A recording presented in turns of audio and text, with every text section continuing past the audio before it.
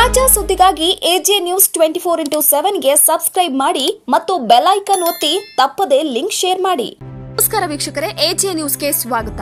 ಬೆಳಗಾವಿ ಜಿಲ್ಲೆಯ ಹುಕ್ಕೇರಿ ತಾಲೂಕಿನ ಯಮಕನಮರಡಿ ಗ್ರಾಮದಲ್ಲಿ ಇಂದು ಮೊಹರಂ ಹಬ್ಬವನ್ನ ಸರಳವಾಗಿ ಆಚರಣೆ ಮಾಡಲಾಯಿತು. ಯಮಕನಮರಡಿ ಗ್ರಾಮ ಪಂಚಾಯಿತಿ ಹಾಗೂ ಗ್ರಾಮಸ್ಥರು ಉಪಸ್ಥಿತರಿದ್ದರು. ವರದಿಗಾರರು ಮೊಹಿನಾಮುಲ್ಲಾ, ಎಜೆ ನ್ಯೂಸ್ ಬೆಳಗಾವಿ.